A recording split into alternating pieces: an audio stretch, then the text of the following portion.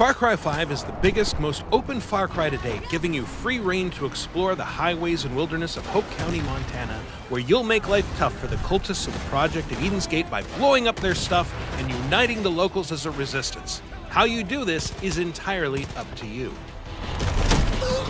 Shit, nice move! More or less from the get go, the entirety of Hope County is yours to explore however you like, whether by truck, helicopter, or fast travel wingsuit airdrop. And there's a lot to discover.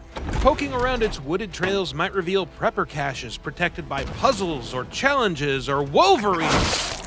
Or you might find signposts that reveal picturesque cliffs from which you can go wingsuiting.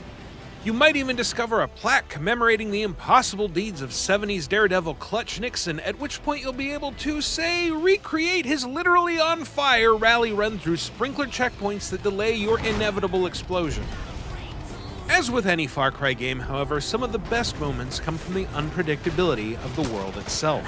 When you've got cultists, vehicles, fire, and extremely violent animals all running amok at once, it only takes a second for a mission to go from high tension stealth to berserk carnage because that incendiary arrow missed a cult VIP and hit a bull instead.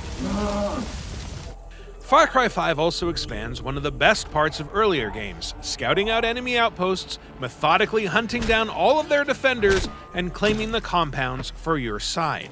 Not only are outposts everywhere in Hope County, clearly marked by columns of black smoke, but all across the map you'll find prominent citizens under siege by the cult. Name's Grace. Helping them push back and reclaim what's theirs will convince them to join you in battle, or at least give you more intel about the cult's activities.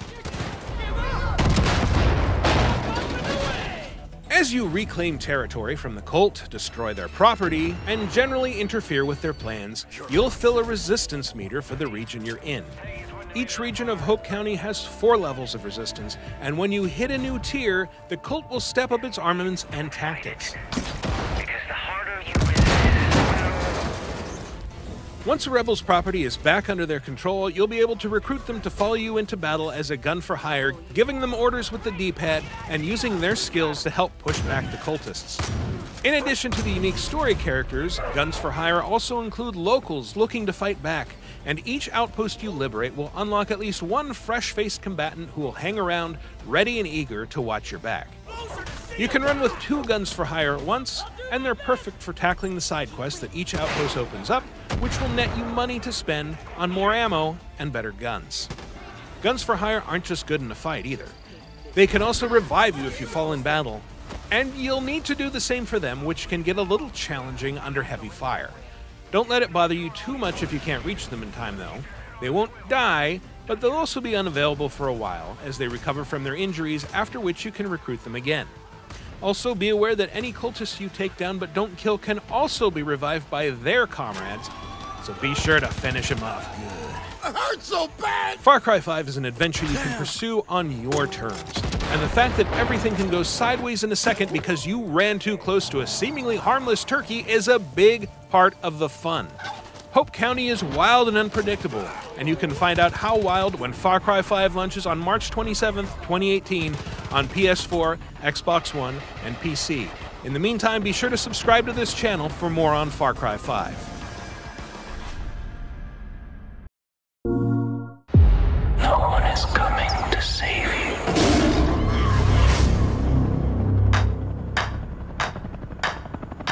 The world is going to hell out there. Eden's Gate is the center of it all. You want to get out of here alive? Gotta make them feel the pressure.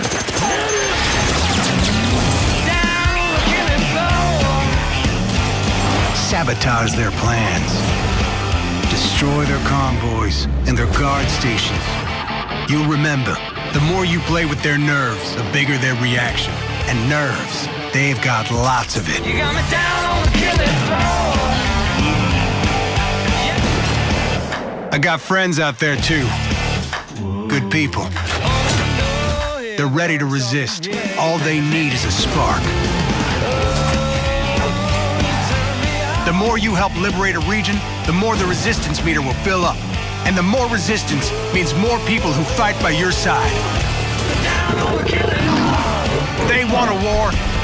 Let's make sure we don't disappoint.